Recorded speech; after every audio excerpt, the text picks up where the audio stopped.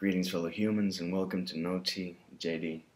Um, I did want to do a tag. I was tagged a while back by William, the, the, the Bald Book Geek. Great guy. We'll leave the link down below. And it is the Pass It On tag, where uh, three books you'd want everyone to read. And the reason why. I gave this some thought. I gave them some thought.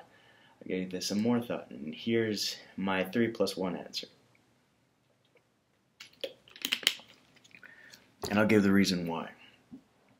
Uh, they're all my favorites uh, amongst my favorite books, and there's a reason. Uh, I've mentioned before several times that I think that a lot more people should read The Little Prince. Uh, in these times, I think some key people need a little dose of kindness in their lives.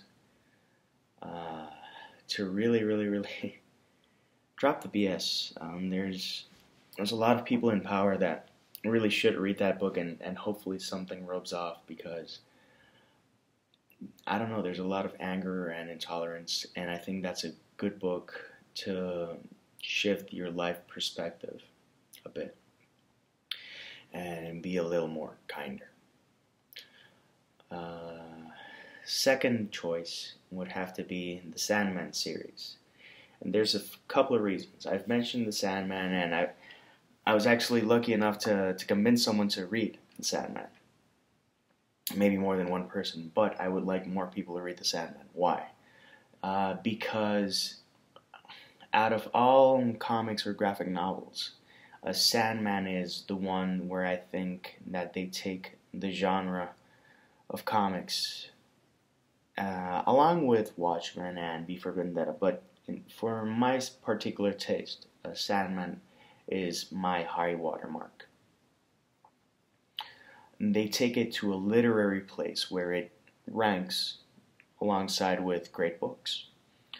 And it, it shows you that it, it's not to be taken lightly, that comics and that visual storytelling form is not to be taken lightly. Uh, I think Neil Gaiman is brilliant, and I do think that that Dream and the Endless and the entire series has a lot to offer to anyone who is a really big fan of fantasy. And and for me particularly, uh, it helped it helped break down a lot of barriers in terms of what I thought that I could do with my writing. I read it and it had so many aha moments like it's a challenging series. It's not it's not it's not paint by numbers uh, literature by any means. And that's why it's so special and why it's so important to me. Uh, lastly, I know a lot of people are going to mention it, but I'm going to mention my reason. Uh, I would share the Harry Potter series with everyone. And for a couple of reasons. Um, Harry Potter arrived in my life in a, in a time when I needed a little bit of magic.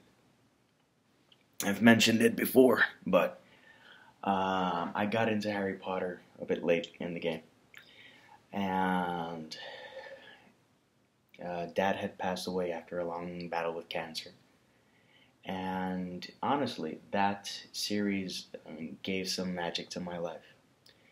And it is the first book that I read that I went, wow, I want to do this. I want to do this for a living.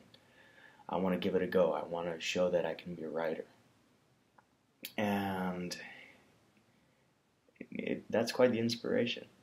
And I want other people to have that. I want people to read it and have that sense of wonder uh, of reading something that is so easy to smile about and to relate to. And I think it's it's essential reading for teens. And unfortunately, uh, some people from certain uh, religious circles think that it's a bad idea to read Harry Potter because there's witches and there's magic and that goes against the teachings of whatnot. And although I can get that, I really wouldn't want life lessons of a, about being a teen to go, you know, unread because of that. And you know, there's no satanic messages there's nothing of the sorts. and I think quite the contrary. It has some very important messages to share in these times of of war, because these are times it's gonna get crazy soon, or that's the way it feels like. Um, but all in all, it was a series that every time I read it, I smile so much, and I think we need to smile more. So definitely recommend because of that. And my plus one is any of my books. I would love anyone to read any of my books just to tell me um, if it's worthwhile or not, and if it is worthwhile to to hear that. Uh, I've heard some people say some wonderful things, either in reviews or direct messages. And honestly, uh, sometimes you need a little fuel for the fire. And, you know, uh, being an indie writer, you're the one who's in charge of, of doing all the marketing and getting to people. So to be able to give one book, and show, show, show all my books and say, pick one. Uh, and have people read it would be would be a wonderful thing. And I know it's a bit selfish, but you know, this is the dream. So why not include it in my my books to to want to pass along?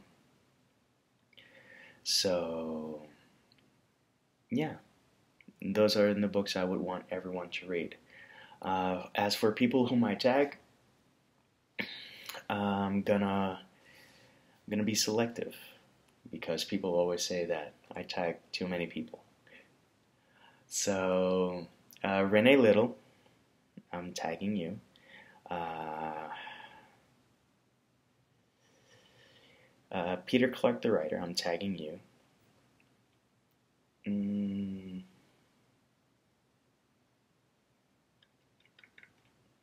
Brit from Brittany Reads and Brit from Girl on Kindle Fire. I, I am tagging you too, and I'm already pushing it. Anais Chachenko, I'm tagging you. Uh, Sunshine Somerville, I'm tagging you. A.L. Mabry, I'm tagging you, and one more. Uh, Jay Dee Archer, it's been a while since I tagged you, uh, and I, I think it's it's okay to tag you again. so I'm tagging you as well.